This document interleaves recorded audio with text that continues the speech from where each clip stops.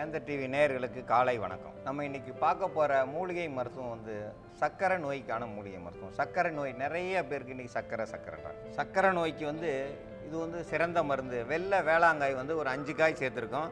அரை ஸ்பூன் வந்து சீரகம் சேர்த்துருக்கோம். ஒரு இருபது பூ அளவுக்கு ஆவாரம் பூ எல்லாத்தையும் இடித்து ஒரு நூற்றம்பது மில்லி தண்ணியில் போட்டு நல்லா காய்ச்சி எடுத்து வத்த வச்சு வச்சுருக்கோம். இது நல்ல ந- துவர்ப்புத்தன்மை அதிகமாக இருக்கும். இதில் வேறு எந்த ருசியுமே இருக்காது. இதில் நம்ம தேவைன்னா பனை வெல்லம் போட்டுக்கலாம். பனை வெல்லம் போடாமே இதை சாப்பிட்லாம்.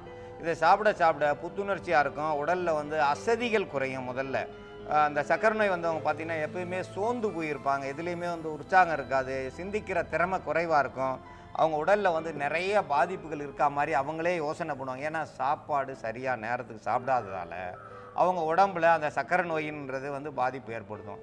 கண்டிப்பாக முப்பத்தி ரெண்டு கவாலம் வந்து உணவு எடுத்துக்கிட்டா அந்த சக்கரை நோய் ஒன்றுமே பண்ணாது. அது வந்து நம்ம உடம்புல சர்க்கரை இருந்தே ஆகணும். சர்க்கரை இல்லைன்னா மூளையே வேலை செய்யாது. சர்க்கரை இல்லைன்னா ஞாபக சக்தியே இருக்காது. நிறைய பேருக்கு தெரியாது.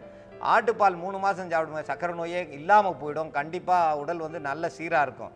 அதை விட்டுட்டு நம்ம சாப்பாட்டை குறைச்சி மூணு வேளை சாப்பிடுங்க அஞ்சு வேளை சாப்பிடுங்க பசிக்கும் போது சாப்பிடுங்க. மயக்கம் போட்டு விழுந்ததுக்கப்புறம் எந்த மருந்துமே வேலை செய்யாது. அப்போது உணவு திடகாத்தியமாக இருந்தால் அந்த மயக்கத்தை தாங்கலாம். மயக்கம் தாங்கும்போது சர்க்கரை வந்து கட்டுப்படும். நம்ம வந்து சாப்பாடே சாப்பிடாம இருந்தோம்னா உடல் சொல்கிறத நம்ம கேட்டு தான் ஆகணும். என்னால் முடியல நடக்க முடியல நடக்க முடியாமல் உட்காந்து தான் ஆகணும். ஏன்னா நம்ம தேவையான உணவு எடுத்துக்கிடணும் தேவையான ரத்தம் ஓடணும். ஒரு சொட்டு ரத்தம் ஊறினாலும் உடல் முழுவதும் அது போகணும். உடல் முழுவதும் போலனாலே அந்த உடல் கெட்டு போச்சுன்னு அர்த்தம். அப்போது ரத்தம் குறைபாடு இருந்தால் உடல் முழுவதும் ரத்தம் போகாது. அப்போ ஒரு பக்கத்தில் வந்து அதுவாக போட்டுருச்சுன்னா அதுவாக ஒரு பக்கம் ரத்தம் செயலிழந்து போய் கை காலை வெட்டும்படியாக கொண்டு வந்துடும் அப்போ வந்து நீங்கள் ச நல்ல உணவு எடுத்துக்கிறணும். இன்றைக்கி இருக்கிற ரசாயன உரம் போட்ட அரிசிகளை பயன்படுத்தாமல் ரசாயன உரம் போடாத அரிசிகளை சாப்பிடுங்க. சிறு தானியங்களை அதிகமாக பயன்படுத்துங்க. ஒரு நாளைக்கு ஒரு சிறுதானியம் எடுத்துக்கங்க. ஒரு நாளைக்கு ஒரு கீரை எடுத்துக்கங்க. இந்த மாதிரி மாற்றி மாற்றி சாப்பிட்டு வாங்க. நல்லெண்ணெயை மட்டும் பயன்படுத்துங்க. வேறு எண்ணெயை பயன்படுத்தாதீங்க.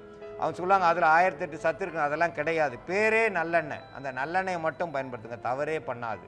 அப்போ உடல் பலமாக இருக்கும். சர்க்கரை நோய் வந்து பயப்பட தேவையில்ல. சர்க்கரை எனக்கு ஐநூறுக்கு ஒன்றுமே பண்ணாது.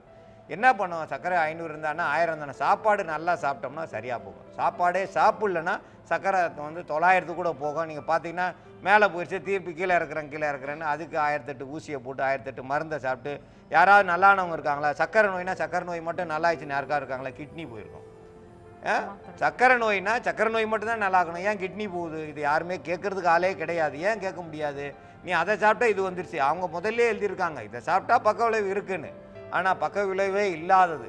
ஏன்னா நம்ம மூலிகை மருத்துவம் இதை நேரடியாக பச்சையாக சாப்பிடலாம் தவறே கிடையாது.